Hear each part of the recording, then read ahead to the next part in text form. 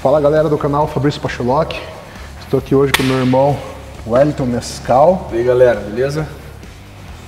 Se você é novo aqui no canal e ainda não me conhece, eu me chamo Fabrício Pacholoc, sou treinador de vários atletas de fisiculturismo, aí campeões nacionais e internacionais.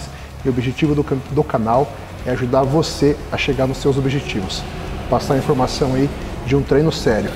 Quero agradecer a você que está no canal, que está comentando nossos vídeos, fortalecendo, compartilhando. A sua, o seu comentário, o seu compartilhamento é muito importante e ajuda o canal a crescer. Se você ainda não é inscrito, se inscreve lá, ativa o sininho de notificações, manda esse treino, nossas dicas aí para o seu amigo que está precisando, que você ajuda muito a gente. Então, Wellington, a gente fez aí alguns dias, a gente falou sobre divisão de treino, né? Uhum. E agora eu vi que ficou muita dúvida, o pessoal comentou muito e uma das principais, é, uma das principais dúvidas era o volume de treino. Então eu pensei numa nova série e a gente vai falar aí, hoje vamos começar pelo treino de dorsal e a gente vai falar sobre o treino de dorsal perfeito.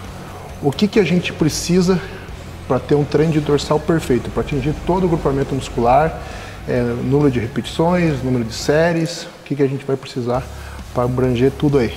Então vamos mostrar para a galera aí, falar um pouco agora hoje sobre treino de dorsal e se a gente ver que vocês estão gostando, a gente vai deixando toda a série para vocês. Vamos lá?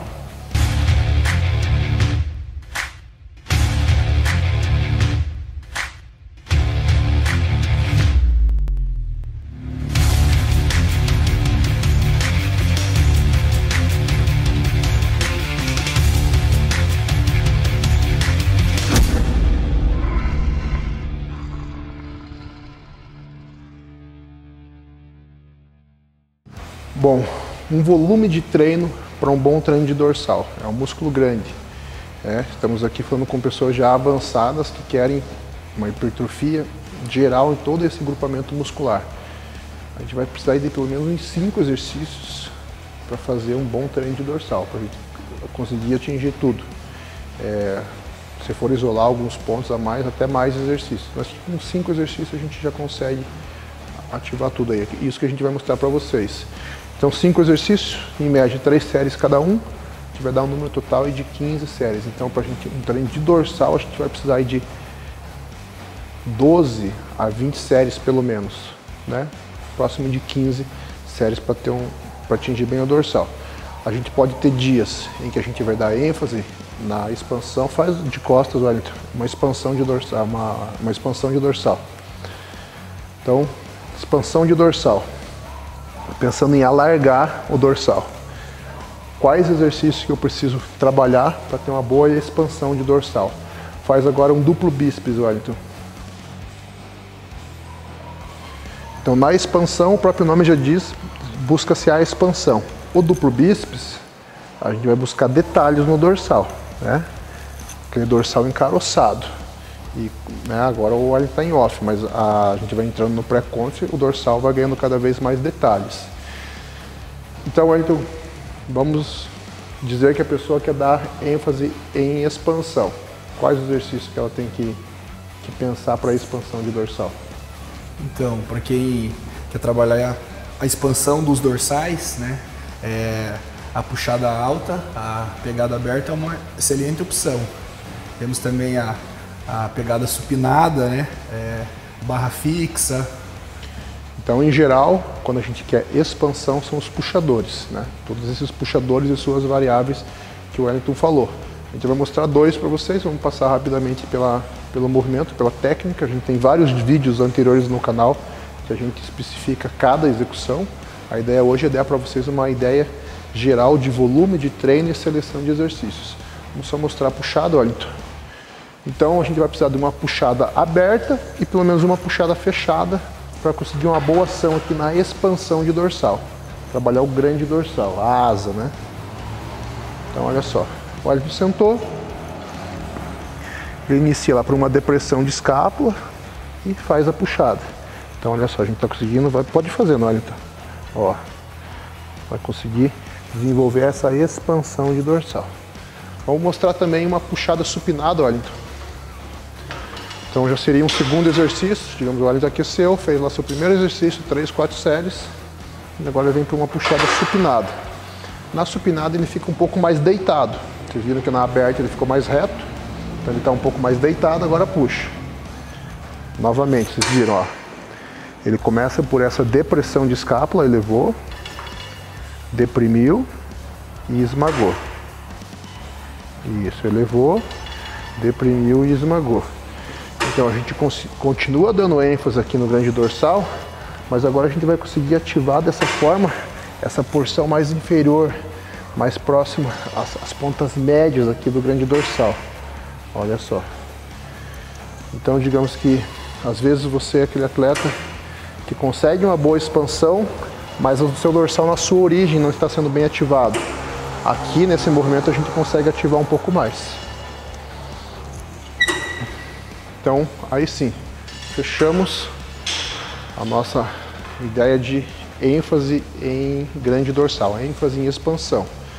E agora a gente já vai começar a pensar nas remadas, que é o que a gente vai buscar, aquele duplo bíceps encaroçado, cheio de detalhe no dorsal. É, então a gente vai precisar também de uma remada aberta e uma fechada. Vamos mostrar para a galera a, a remada baixa no triângulo então, para remada.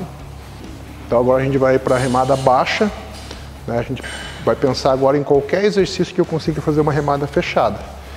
Posso fazer com halter, posso fazer uma barra supinada, né? diversos é, movimentos que eu consiga fazer esse movimento. Vamos mostrar lá, Wellington?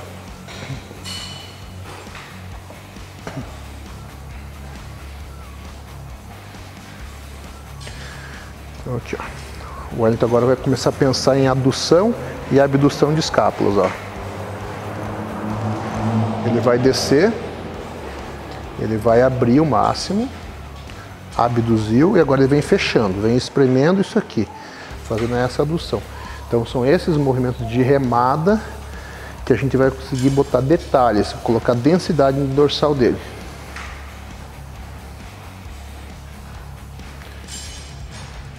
Isso aí, olha, tá beleza.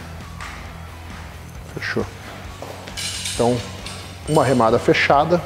Uma outra opção boa seria uma remada cavalinho no triângulo, também seria ótimo. E a gente fechou a parte de remada fechada. Agora a gente precisa de uma remada aberta. Vamos colocar a remada aberta na a remada curvada na barra com a pegada aberta. E daí já na remada, aqui também, mas na remada aberta, um pouco mais, a gente começa a ter uma grande ação de posterior de ombro. E eu sugiro vocês a colocarem posterior de ombro junto com dorsal. Pode também colocar com ombro, mas minha sugestão, como no treino de dorsal a gente já vai conseguir uma boa ação de posterior de ombro, a gente já pode colocar junto. Então eu poderia agora fazer uma remada aberta e depois jogar um crucifixo inverso, um voador inverso, um crucifixo inverso no cabo mas a gente vai hoje colocar para vocês uma remada aberta combinada com o crucifixo inverso. Então vamos mostrar lá. Remada curvada, pegada mais aberta. O Wellington continua pensando em adução e abdução de escápulas, mas como agora a carga vem de um ponto diferente, né, a pegada está aberta, a gente vai conseguir ativar pontos diferentes. Olha só o que eu falei, grande ação de posterior de ombro. Por isso que eu gosto de colocar já no mesmo dia e também grande ação de paravertebrais, que aqui estão sendo trabalhadas em isometrias para sustentar o corpo dele.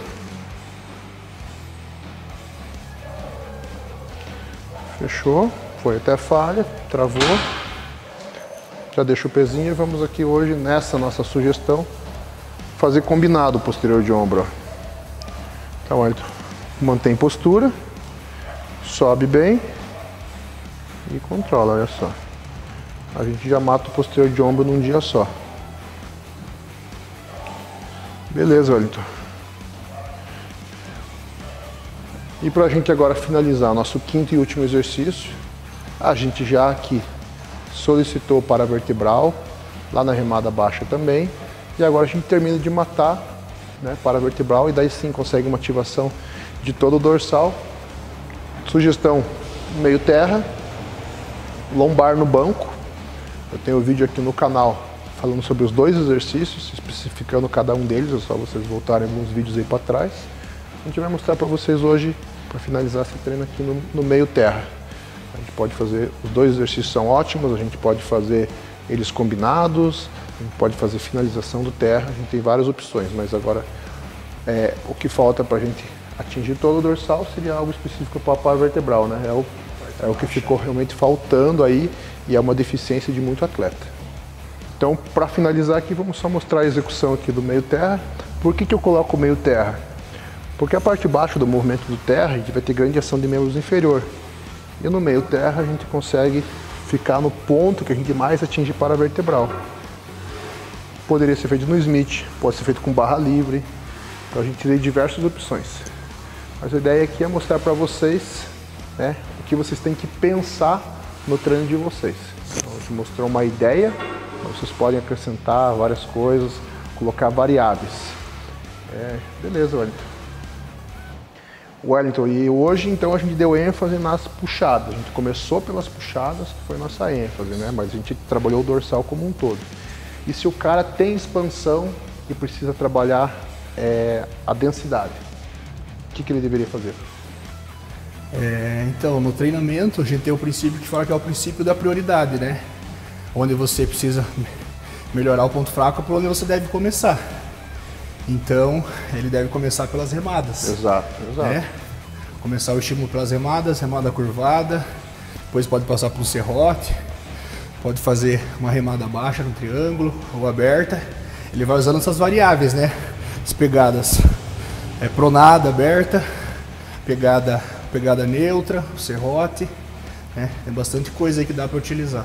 Daí sim, depois das remadas, né? colocando pelo menos uma aberta e uma fechada, se a deficiência dele é essa.